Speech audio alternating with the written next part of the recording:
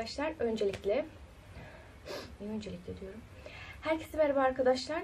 Bugün birlikte şu kafamda görmüş olduğunuz boynuzu bir miktar yamuk. Unicorn tacı yapacağız. Önce size bahsetmek istediğim ufak bir şey var. O da şu ki en sonki videoda e, Cadılar Bayramı oda dekorasyonu yapacağımı söylemiştim. Fakat bir takım maddi yetersizlikler ve hiç vaktimin olmamasından kaynaklı olarak ama daha çok paramın olmayışıyla ilgili e, bu videoyu çekemedim. Onunla ilgili öncelikli bir açıklama yapmam gerektiğini düşündüm. Ondan sonra da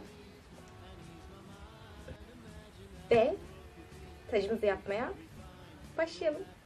Malzemelerimiz istediğiniz renkte keçi, taç, yapay çiçekler ve hepsini yapıştırmak için silikon tabancası.